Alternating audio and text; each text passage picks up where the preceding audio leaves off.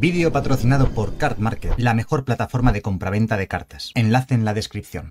Bien, y bien, y bien, mis pequeños drugos, bienvenidos una vez más a Magic Block Hoy es un día especial, quedan muy poquitas horas o días, dependiendo de la plataforma que vais a elegir para estrenaros, pero ya está aquí casi casi con nosotros la nueva colección de Magic Forajidos de Cruce de Tronos. Concretamente, durante este fin de semana se celebran las presentaciones que normalmente son de formato limitado, concretamente en mazo cerrado, es decir, os dan 6 sobres y montáis el mazo que podéis con las cartas que os hayan salido de forma aleatoria de esos sobres, o si no, os tenéis que esperar al próximo día 16 en Magic Arena, cuando ya podremos disfrutar de la colección al completo, todos los poderes que disfrutamos de la plataforma digital por excelencia actualmente de Magic. Bueno, vamos a hacer un pequeño resumen de cuáles creo que son las cartas más importantes, color por color, para formato limitado. El análisis que os traigo es un análisis totalmente a priori, ¿vale? No he podido probar las cartas todavía, la colección no ha salido aún. Entonces yo os voy a dar las que creo que son las mejores cartas comunes y poco comunes por cada color.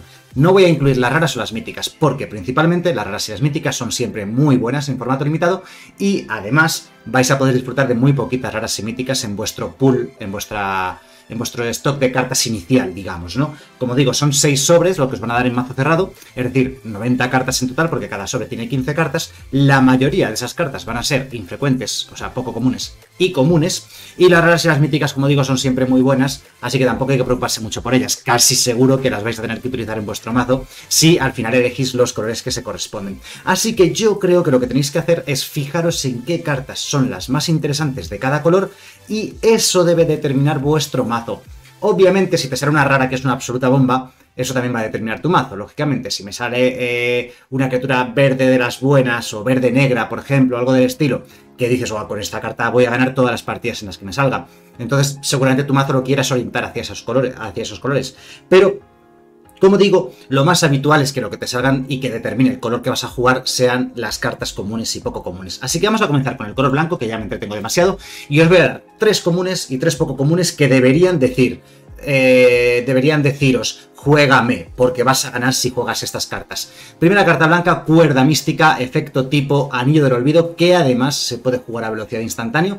Un removal clásico está prácticamente en todas las colecciones y en este caso tenemos la ventaja de que se puede jugar a velocidad instantáneo pagando 5. Solamente funciona contra criaturas o contra artefactos, pero es suficientemente bueno como para que tengáis muy en cuenta. Segunda carta, llavera esterlina por 2 es un 2-2, es decir, es, una, es un oso por 2 es un 2-2, como siempre llamamos a las criaturas que por 2 son un 2-2, pero tiene una habilidad muy buena que sobre todo para los jugadores nuevos eh, o que no habéis jugado mucho limitado, eh, tenéis que saber que esta habilidad es muy importante. Giras una criatura objetivo. Vale, no puede ser montura, pero hay muy poquitas monturas, así que gira prácticamente cualquier criatura que te vayas a encontrar. Tiene un coste de 2 y girar la propia llavera esterlina, pero como os digo, son muy buenos los efectos de girar criaturas del oponente, ¿vale? Sobre todo los que puedes jugar o activar todos los turnos. Así que mucho ojito con esta carta, que es una de las mejores comunes blancas. Y vaca sagrada, por 3, 2, 2, vuela, destello, hace de todo, ¿no? Y además cuando entra en juego ganas un par de vidas y adivina uno. Es una buena criatura desde el punto de vista agresivo porque tiene evasión, es una buena criatura desde el punto de vista de la manipulación de biblioteca por ese adivinar uno, además se puede jugar a velocidad instantáneo, y, por y solamente cuesta 3 de mana y es un 2-2. Muy buena carta que es de las mejores comunes blancas de esta colección. Vamos con las infrecuentes blancas donde yo destacaría Buscadora de la Frontera que prácticamente siempre va a ser un 2x1. Te va a dar montura. Si llevas muchas monturas en tu mazo, genial, o como mínimo te va a dar una llanura. El caso es que por dos pones una criatura que pega dos en juego, que está bien para la curva de mana, es, suficiente, ¿vale? Es una carta de relleno en el mazo, pero es un 2 por 1 y los 2 por 1 en limitado son súper valiosos. Para mí una de las mejores infrecuentes blancas, sobre todo si en tu mazo llevas muchas monturas, todavía mejor.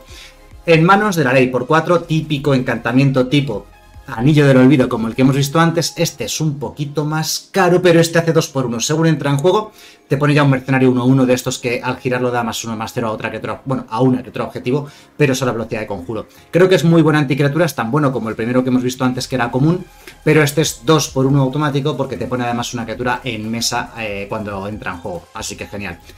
Incursión de requisición. Sería la otra infrecuente, la tercera infrecuente que os quería, que os quería comentar como cartas importantes dentro del color blanco. Es versátil porque puede destruir artefactos, puede destruir encantamientos o, muy importante, puede poner un contador más uno más uno sobre todas y cada una de las criaturas que controle el jugador objetivo, que generalmente lo vas a hacer para ti, no, vas a no se lo vas a dar al rival, lógicamente. Pero no solamente es versátil porque tienes tres modos muy buenos, destruir artefactos, encantamientos, contadores más uno más uno, sino que si tienes suficiente mana y no pide mucho mana, lo hace todo. Carta muy, muy buena incursión de requisición. Vale, vamos a continuar con el color azul. Bien, del color azul, primera común que yo creo que no deberíais pasar nunca por alto. Draco del Geyser, por 3 es un 2-3 vuela. Buenas estadísticas para coste 3, pero lo más importante, mientras no sea tu turno, te cuesta uno menos lanzar cualquier hechizo. O sea, si estás en el turno del rival, normalmente, normalmente lo único que vas a poder lanzar son instantáneos, pero también hay cartas que tienen destello, que son criaturas o que son otras cosas, encantamientos. Bueno, pues te va a costar uno menos lanzar hechizos en el turno del rival, lo cual es buenísimo. Esta carta me parece que es muy, muy, muy interesante para tu mazo delimitado. Y si tienes varias copias de esta, adelante, hazte un mazo orientado a Draco del Geyser. Segunda carta que os quiero comentar común del color azul frenar en seco por 4, típico eh, eh, encantamiento azul de los de cuando entra en juego gira la criatura y no se enderezan, ¿vale? Eh, en este muchas veces cuestan 3 de mana, este cuesta 4, cuesta un poquito más, pero a cambio tiene destello, se puede jugar a velocidad instantánea. Este sería un ejemplo de una carta que funcionaría muy bien con el Draco que acabamos de ver, pues se podría jugar por uno menos. además, tiene dos extras. Primer extra es que esto se puede jugar también sobre artefactos. Segundo extra, le quita todas las habilidades al permanente encantado. Excelente carta común para el color azul, que el color azul normalmente no tiene muchos anticriaturas, y este es uno bastante bueno. Y por último, interferencia fantasmal. Ya sabéis, lo digo siempre, no soy muy fanático de los contrahechizos en formato limitado. Pero es que esto es algo más que un contrahechizo. Sí, es eh, un contrahechizo, una especie de fuga de mana, de acuerdo, por dos, paga dos más el rival o contrarrestas el hechizo. Pero, según vaya avanzando la partida, se va a convertir en un 2 por 1 Puede que contrarrestes una carta importante del rival y además pongas en mesa una criatura 2-2 voladora. Muy versátil y creo que muy potente. Vamos a por las infrecuentes azules, donde eh, destacaríamos Bandolero Ágil, tipo Ofidio, por 3 1 3 que si hace daño robas carta. ¿Vale? Eh, muy buena carta en general, pero esta puede ser imbloqueable. Basta con cometer un crimen, es decir, hacer objetivo al oponente o alguno de sus objetos, cualquiera, o el cementerio, o la mano, o lo que fuese, ¿no? Es bastante fácil que eso ocurra, sobre todo si diseñas un poquito el mazo por ese camino, sobre todo combinado con color negro o con color rojo, va a ser mucho más sencillo y el bandolero ágil te puede ganar una partida él solo, porque como te robes tres o cuatro cartas gracias a él, que, como digo, es que es factible, porque se hace imbloqueable en cuanto cometas un crimen. Muy buena carta, como os digo. me, animaría mucho a jugar azul si yo tuviese una o dos copias de este bandolero ágil y si tuviese formas de cometer crímenes. Segunda carta infrecuente azul, Esfinge Merodeadora. Sorprende un poco una infrecuente tan potente, yo diría. Por 5, 3-5, pero tiene volar, vigilancia y rebatir 2. O sea, es decir, eh, puede atacar y bloquear con la vigilancia. Es difícil que el rival le haga objetivo porque tiene que pagar dos más. Y encima tiene volar. Y además, como si fuese, eh, poco, cada vez que cometas un crimen, escrutas dos. Una vez por turno, ¿vale? Pero es que es todo. Eh, es una carta muy potente, como digo, y que además tiene manipulación de biblioteca y sinergias de cementerio. Si consigues escrutar dos una o dos veces, ya te puedes ir bastante contento, ¿no? Una de las mejores infrecuentes de la colección, para mi gusto. Y la tercera y última infrecuente del color azul que yo quería destacar es este pueblo es demasiado pequeño para, los dos, forastero. Bueno, esta carta me parece que es una carta de tempo muy potente. Eh, cuesta 5 de mana, ¿vale? Es un poquito cara, es instantáneo, pero es que sube dos permanentes, objetivo que no sean tierra. Pero si uno de esos dos permanentes era tuyo, cuesta 3 menos. Así que por dos manas vas a subir un permanente del rival y otro tuyo, Lógicamente, el permanente tuyo que sube hasta la mano es un permanente que quieres volver a jugar porque tiene algún tipo de habilidad de entrar en juego. O sea que encima esta carta es bastante aprovechable en ese sentido. Me gusta mucho esta carta, creo que es de las mejores infrecuentes azules. Vamos a por el color negro. Dentro del color negro, destaco entre las comunes Asesina del Tejado por 4, ojo, 2-2. Vuela vínculo vital. Además tiene destello, se puede jugar a velocidad instantánea. Y cuando entra en juego, destruye una criatura que haya recibido daños de combate este turno. Eh, no es la primera vez que encontramos criaturas como esta, con destello, que si una criatura ha recibido daño eh, la puedes destruir del oponente, pero es que esta además, además de ser por 4 1 2 2 como suele ser habitual, además de esa habilidad que os digo de destruir la criatura que ha recibido daño, eh, tiene además volar y vínculo vital. Por cierto, es muy fácil en formato limitado en cualquier ataque, cualquier bloqueo. Oh, te ataco con mi 1-4. ¿Bloqueas con tu 1-4? Vale, no se muere ninguno. Bueno, el tuyo sí, asesina el tejado. Ese tipo de bloqueos, ataques y bloqueos de ese estilo ocurren muy a menudo en limitado y esta carta es muy buena. Eh, si no la conocéis esta mecánica o este tipo de... No es la primera vez de la historia de Magic, hay muchas en formato limitado como esta. Siempre han visto juegos, siempre son jugables y esta, como digo, es un puntito mejor de lo habitual. Por el vuela, el vínculo vital que las la hacen muy, muy, muy potente, yo creo, para ser una común. Cenizas devoradoras. Típico removal negro, instantáneo, cuesta 4, un pelín caro, pero exilia en lugar de destruir. Y además, si era una criatura de coste 3 o menos, escrutas 2. Te da un poquito de manipulación de biblioteca o de sinergia de cementerio. Creo que es muy buena carta y sin duda sería un motivante para que yo jugase color negro en mi, en mi mazo cerrado o en mi draft o en lo que sea, ¿no? Porque aunque este análisis lo esté haciendo para mazo cerrado, podría valer perfectamente también para formato draft. Saqueadora de cámaras. Me gusta mucho esta carta. Por 3 pega 3. Solo aguanta uno, es cierto. En cualquier bloqueo va a morir. Pero no pasa nada. Porque te ha, dado, una carta extra. Se ha sustituido a sí misma con esa carta extra que robas. La, la vida que pierdes no es tan grave. Y es más, si imagínate que al rival le queda una vida, pues toma, mira, róbate una carta, pierdes una vida y gana la partida. El caso es que creo que para ser una común es bastante buena. Bien, vamos a por las infrecuentes del color negro, donde primero destaco disparar al sheriff eh, por dos, instantáneo, destruir a criatura objetivo que no sea forajido. Cuidado. Esta colección tiene montones de criaturas que son forajidos, ¿vale? Pero aún así, es que es tan barata por dos instantáneo que vas a poder matar montones de criaturas. Esta carta es buena, ¿de acuerdo? No es el summon, porque hay muchas criaturas que no va a poder matar, pero es tan eficiente por dos instantáneo, no se le puede pedir mucho más a una carta de este estilo, y creo que es, creo que es muy buena el limitado. Quizás con esta carta me equivoque, ¿vale? Habrá que ver el formato cómo queda. Creo que los mazos van a tener muchos forajidos. Pensad que los forajidos son asesinos, mercenarios, piratas, bribones y brujos. Son muchos tipos de criatura, lo que incluyen los forajidos.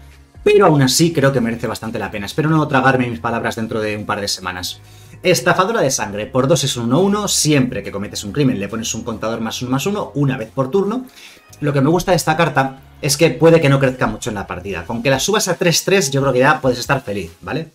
Pero es una de estas criaturas que gana partidas ella sola, porque cuando las partidas se alargan y empieza a sobrarte el maná, puedes hacer que el oponente objetivo pierda una vida y tú ganes una vida sin que la criatura se juegue, se gire, perdón, sin que la criatura se gire, y pudiendo activar su habilidad todas las veces que tú quieras, siempre y cuando tengas mana suficiente, que te vas a 4, 8, 12 de mana, estafadora de sangre. Y además, cada vez que activas su habilidad, estás cometiendo un crimen, porque dice oponente objetivo, o sea, ella misma dispara el, eh, la habilidad de contador más uno más uno porque ella misma ya comete un crimen. Creo que esta carta es mucho mejor de lo que la gente se piensa, creo que es mucho mejor de lo que parece a simple vista y que muchas partidas las va a finiquitar la estafadora de sangre. Bien, y la tercera carta infrecuente del color negro, banda de vividores. Ya teníamos una carta similar a esta en estándar hace un par de años y no, hacía referencia a forajidos, pero creo que la carta es de un, nivel similar. Básicamente, siempre que un forajido que tú controlas muera, eh, hace drenar vida de uno. ¿Qué es lo que pasa? Que ella misma ya pone forajidos en mesa. Cuando entra en juego, crea un forajido, ¿vale? El forajido 1-1 que lo giras y da más uno más 0 a una criatura. Entonces, si te montas un mazo con negro, con rojo posiblemente, o con blanco o azul, de muchos forajidos, eh, banda de vividores es muy buena. Lógicamente, fuera de un mazo de forajidos, banda de vividores pues no es nada buena, ¿vale? Pero en un mazo de forajidos es para empezar un 2x1, porque es una criatura pequeñita, pero una criatura útil, y además un encantamiento que te puede dar unas pocas vidas por, eh, a lo largo de una partida y quedárselas al rival, cosa bastante relevante. Bien, vamos a por el color ahora rojo. Dentro del color rojo, las comunes que yo destacaría comenzaríamos con descarrilamiento explosivo. Em, ¿Por qué me gusta esta carta dentro de las comunes rojas? Bien, pues primero porque es un removal suficientemente decente. Por 3 de mana va a destruir prácticamente todas las criaturas pequeñas y medianas porque hace 4 puntos de daño. Pero además también destruye artefactos. No hay muchos artefactos en esta colección, pero creo que al ser un instantáneo de coste 3 que mata criaturas, el hecho de tener un pequeño extra ya la hace muy buena. Creo que es una común bastante jugable y que sin duda no dejaría pasar por alto en mi mazo de formato limitado, específicamente además baraja sellada, que es un poquito menos poderoso que draft. Quizás en draft esta carta se queda un pelín más corta. Por si no lo sabíais, el formato draft eh, normalmente las, las, barajas, los mazos son un poquito más poderosos que los de mazo cerrado. Dúo detonantes. Por 3 es un 2-2 que cuando entra en juego crea el mercenario 1-1. Él mismo es mercenario y te pone un mercenario. Por eso precisamente estaba comentando eh, con el encantamiento negro que hemos visto antes, que es muy fácil montarse un mazo lleno de mercenarios negro-rojo, con azul, con rojo, cosas ese tipo de colores, ¿vale? Quizás con blanco, como dije antes, no, con blanco hay forajidos, pero más con el rojo, con el negro, con el azul. Bueno, en cualquier caso, esta carta me parece que es muy buena, porque me decís, ah, pero solamente es un 2-2 x 3. Bueno, es cierto, solamente es un 2-2 x 3. Pero es un 2 x 1 y siempre son muy importantes y simplemente es una común. Y la tercera común que os quería comentar es Vendedora Perspicaz. Creo que es mucho mejor de lo que parece. Por 2 es un 2-2, es un oso, vale. pero es un forajido porque es bribón y además simplemente eh, cuando entra en juego puedes descartar, robar. Y dices, qué poquita cosa. No, ese tipo de cosas son muy relevantes. Es una criatura que hace, hace su trabajo en los primeros turnos de la partida, te rellena la curva para un mazo agresivo, eh, y luego además, que me sobran tierras, bueno, pues descarto robo. Que me falta algo, pues descarto robo y lo busco, ¿no? Esta carta es mejor de lo que puede parecer, creo que es una común bastante interesante. Y luego vamos con las infrecuentes del color rojo. Bruto de, las, de los Necroespuela por 5. 5-4, arrolla. El color rojo destaca generalmente porque sus criaturas no son demasiado grandes en función con su coste, en función a su coste. Pero esta sí, por 5 es un 5-4. Además tiene arrollar, lo cual es muy interesante. Pero sobre todo lo más interesante es que tiene afinidad por forajidos y él mismo es un forajido. Seguramente el color rojo, en combinación con el negro, sea el mazo de los forajidos y posiblemente sea uno de los más potentes. Así que mucho ojito a lo que se ha dicho del color negro antes y a lo que estamos viendo la del color rojo. Eh, es posible que esta carta pongamos, en el peor de los casos, te va a costar 5. En el mejor de los casos, te puede costar 3 fácilmente. Que turno turno 1, no, venga, turno 2 haces tu primer forajido, turno 3 haces tu segundo forajido, turno 4 esto cuesta 3. Por 3 un 5-4 arrolla en el color rojo es muy potente. Y el mismo es mercenario. Creo que es un infrecuente bastante, bastante, bastante potente. Segundo infrecuente del color rojo, tirador hasta larga. Por 3 es un 3-3, buenas estadísticas. Seguimos con los forajidos. Tiene alcance, es decir, puede bloquear voladores. Y lo que más me gusta de esta carta no es jugarla como criatura. Bien, es que pagas 4 4 puede parecer mucho, pero no es mucho para formato limitado para hacer 2 puntos de daño a cualquier objetivo. Criatura, jugador, planeswalker, lo que sea. Hace 2 puntos de daño a cualquier objetivo por 4 de maná, que es un poquito caro, 4 de maná para solamente 2 daños. Pero es suficiente para matar a las criaturas pequeñas, o sobre todo después de un bloqueo, por ejemplo, ¿no? Pero el caso es que no has perdido la carta. Has hecho 2 daños, posiblemente mates a alguna criatura pequeña, y luego lo puedes jugar en otro turno posterior gratis, un 3-3 alcance una carta infrecuente bastante, bastante buena, creo que el color rojo viene muy fuerte. Y la tercera infrecuente del color rojo que os quería comentar estaba entre el coyote y el correcaminos, pero como ya estuve comentando en otros vídeos, creo que el coyote es mucho mejor que el correcaminos. La gente decía irónicamente, vaya, en los dibujos animados el correcaminos siempre era mejor que el coyote. Bueno, han querido hacer aquí el chiste y han hecho que el coyote en Magic sea mejor que el correcaminos. Muy buena carta, por dos es un 2-2 prisa, lo puedes jugar de segundo turno y tan tranquilo. Pero también lo puedes tramar de segundo turno y en el turno adecuado, 4, 5, 6, cuando juegues el pino ese grande que llevas en tu mazo de coste 5, de coste 6, el coyote lo podrás jugar gratis ese mismo turno y darle más uno, más uno y prisa a ese pino que has querido jugar ese turno. Una carta muy versátil, muy útil, la puedes jugar pronto, la puedes jugar tarde, la puedes tramar, la puedes no tramar. Creo que es bastante importante y creo que va a dar mucho, mucho, mucho juego. Vamos a por las cartas del color verde. Y dentro del color verde, dentro de las comunes, en primer lugar, os quería comentar Baile de las Barrillas. Por dos, conjuro, te permite, eh, y esto me parece que es bastante bueno, pagar uno más. Este arrebato me parece bastante bueno. Pagar uno más para hacerte un trampeo, ¿vale? Un ramp and growth de tierra básica o de desierto, si llevas algún desierto bueno, o de dos colores importantes que te falta algún color. O sea, para fijar maná, básicamente esta carta puede estar muy bien. Ya sé que cuesta 3. todo el mundo esperaba que esto costase 2, ¿vale? Pero cuesta 3, pero no está tan mal. Y la otra opción que puedes jugar las dos opciones, que es pagar tres más adicionales, crea una criatura de XX donde X es la cantidad de tierras que controlas. Imagínate que tienes 6 tierras. Pues si tienes 6 tierras, por 5 de mana, has puesto un, eh, un 6-6 en mesa. O imagínate que tienes 6 eh, tierras y por 6 de mana pones una tierra adicional y pones un 7-7, ¿no? O sea, es decir, Creo que esta carta es bastante buena para formato limitado porque te puede dar una tierra si la necesitas en el tercer turno, o te puedes esperar un poquito, te va a dar la tierra y además una criatura bastante grande, que puede ser de cualquier tamaño. O sea, si tienes 8 tierras, pues es un 8-8, 9 tierras, 9-9, más la propia tierra que te busca, que además puede ser un desierto de dos colores que te puedan ayudar o algo por el estilo. Muy buena común, ¿eh? Mucho ojito con esta carta. Siguiente común, bandido de, pues, de puasrecias. por 2, 1, 1 que da mana de cualquier color, a aceleración de mana. Y además es bribón, por tanto es forajido. Pero es que además si cometes un crimen, se endereza, una vez por turno. O sea, puede darte dos manas en un mismo turno. Es una carta muy potente y que le da una aceleración al color verde eh, muy a tener en cuenta. Siguiente carta común del color verde, eh, Cactarántula. Ojito, esta carta posiblemente te cueste 5 a poquitos desiertos que lleves en tu mazo. Pero pongamos que te cuesta 6. Por 6 es un 6-5 alcance, puede bloquear voladores. Por 5, un 6-5 alcance es muy muy bueno. Por 6 también. Pero lo importante es que si el rival quiere quitarse esto de en medio de alguna manera con una anticriatura, o subir a la mano, lo que sea, tú vas a robar una carta y se compensa. Creo que para ser común es bastante buena, ¿eh? bastante potente para ser una común, muy grande, con buenas habilidades y que yo creo que merece la pena meter en cualquier mazo de formato limitado. Las infrecuentes. Primera infrecuente, a todo vapor. Efecto Overrun. El Overrun original daba más 3, más 3 y arrollar. Este da solamente más 2, más 2 y arrollar. Es un poquito peor que el Overrun. El Overrun costaba triple verde. Este cuesta doble verde. Una pequeña ventaja. Y otra pequeña ventaja es que eh, las criaturas no pueden ser bloqueadas por más de una criatura. Así que bueno, pues tiene otro pequeño extra. Es un poquito peor que un Overrun, como digo, pero esta, carta va a ganar partidas. Muchas partidas para el color verde, así que eh, tenedla muy en cuenta para vuestros mazos de formato limitado. Bien, luego tenemos Alquimista de una carta que perfectamente podrían haber lanzado como rara en esta colección, pero lo han hecho como infrecuente. Así que muchas gracias porque es otro elemento potentísimo para el color verde. Se puede jugar de segundo turno sin problema. Por 2, un 3-2 arroyo, está bien para comenzar la partida siendo agresivos.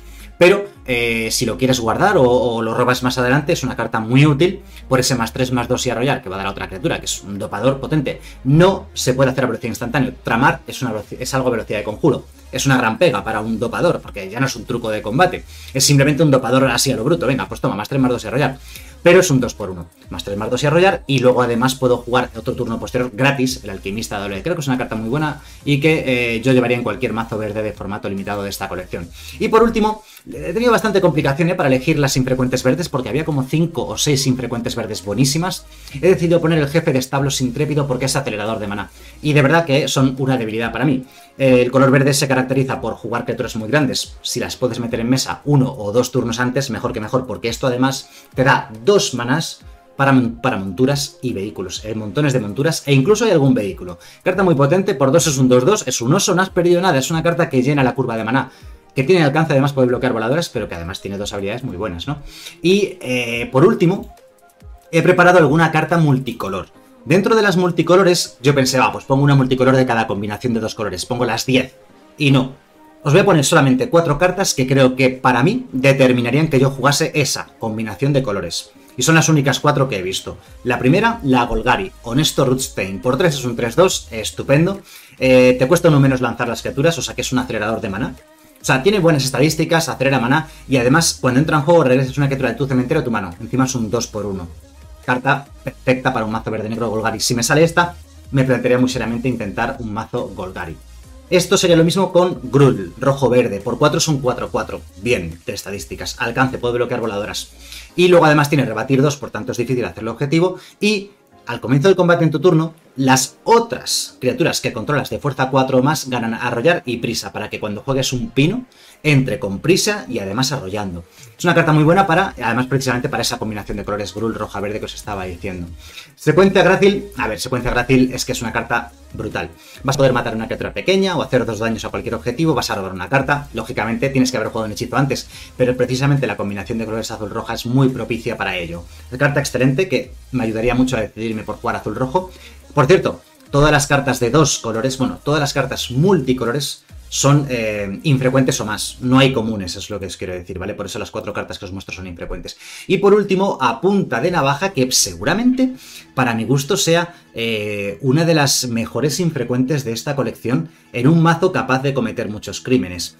Bien, siempre que cometas un crimen, creas un token 1-1. Habilidad que solamente se dispara una vez por turno. ¿Qué es lo que pasa? Que este, este, este token puedes girarlo para darle más uno más cero a una criatura de... No, solamente a tus criaturas, iba a decir. ¿eh? Entonces, ya estaba yo aquí flipando. Me he venido muy arriba. No me hagáis caso. En cualquier caso, tus forajidos dañan primero en tu turno, ¿vale? Y siempre que cometas un crimen, y es muy fácil cometer un crimen en tu turno, cometer un, cometer un crimen en el turno del oponente y llenar la mesa de tokens. Tokens que además dan más uno más cero a una criatura objetivo, que tú controlas. ¿Vale? Qué pena que no sé qué controlar el oponente. Aquí me he venido muy arriba pensando que también valían las del oponente, entonces ya cometía crimen de forma automática. No, pero es una de mis frecuentes favoritas de la colección porque creo que rojo-negro de forajidos va a ser muy potente, que lo hemos visto antes, os lo he mostrado con las cartas que hemos estado viendo antes. Y este es mi análisis para formato limitado. Ya sé que es un análisis muy somero, muy superficial de lo que puede funcionar en formato limitado. Eh, estos primeros días para mazo cerrado o para draft dependiendo de lo que vayáis a jugar. Pero ya os digo que, bueno, aún no hemos podido probar las cartas, aún no las hemos podido jugar. Así que cualquier análisis que se haga previo al lanzamiento de la colección es un análisis eh, que puede fallar puedes, eh, en el cual puedes equivocarte muy fácilmente, porque puedes que pienses que el formato va a ser muy rápido, que va a ser muy lento, que va a haber muchos forajidos, que no los va a haber, vete a saber. Nunca se sabe lo que va, lo que va a pasar en un formato como ese formato limitado hasta que lo juegas, ¿no? Pero bueno, al menos quería daros mi pequeña guía, mis eh, pequeñas opiniones de lo que iba a pasar. Wey, spoiler, spoiler. Es el vídeo, ese, cachito es top 10 que ponía ahí. Es spoiler del vídeo que se va a publicar el lunes después del fin de semana. Que ya lo tengo preparado con el top 10 mejores cartas de la colección. Pero bueno, no es un spoiler porque lo hago todas las colecciones y lógicamente esta colección no iba a ser menos. Se me ha quedado aquí en medio el archivo. Que fallo, ¿eh? Bueno, ¿qué le vamos a hacer? Espero que el vídeo sea útil, que os vaya súper bien en las presentaciones o si no ya el martes cuando salga en Magic Arena. Que os haya gustado un pedazo este vídeo como os digo y nos vemos en el siguiente. Hasta luego.